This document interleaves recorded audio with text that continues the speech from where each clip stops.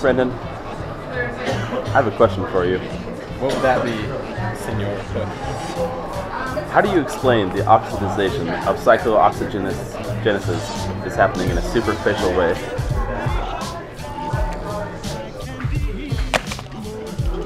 When you forget about your waffle. Shall we?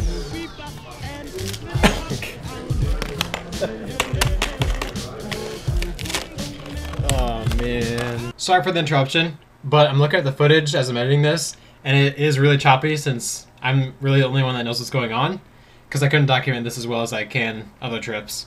So I'm gonna put like subtitles in on the clip that like I feel like there's a big gap to kind of like fill that in. So back to the video.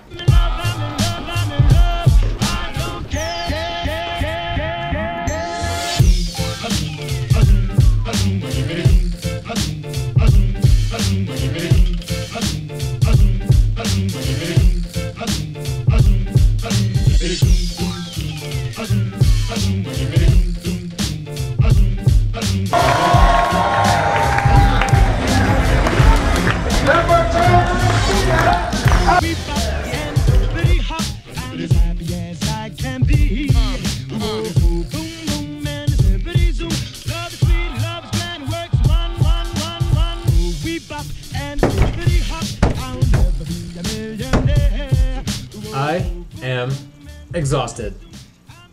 But good. Kind of exhausted though. Not too bad. 742.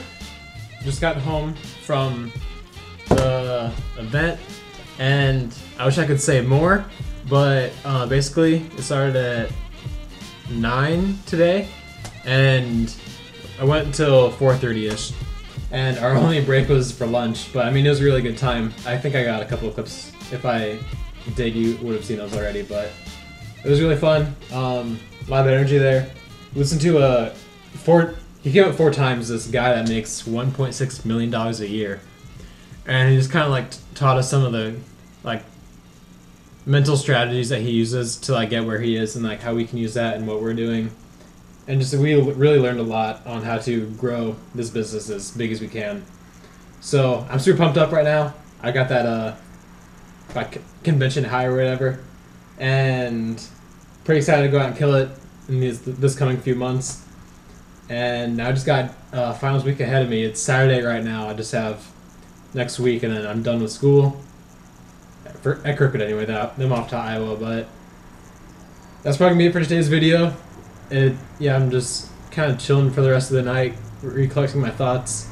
Um, I texted a couple clients, see if I can work on their houses and decks tomorrow. We'll see what happens with that, but really, tomorrow I'm going to spend a lot of time studying for my final on Monday. So, thanks for watching. I'll see you in the next one. Peace.